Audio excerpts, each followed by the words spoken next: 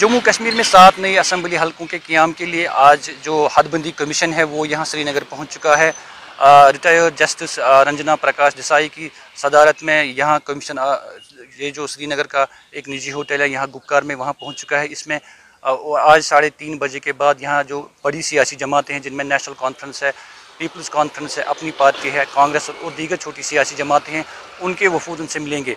ताहम जो सबसे बड़ी बात है वो ये है कि पीडीपी ने इस कमीशन से मुलाकात करने का बाइकाट किया है। उनका कहना है कि ये कमीशन जो है, इसकी, इसका क़्याम जो है, ये दफ़ा तीन सौ सत्तर की मनसूखी के बाद किया गया तो जिसकी वजह से ये गैर गैर कानूनी और गैर आइनी है। Mir Farhat E T V Bharat, Srinagar.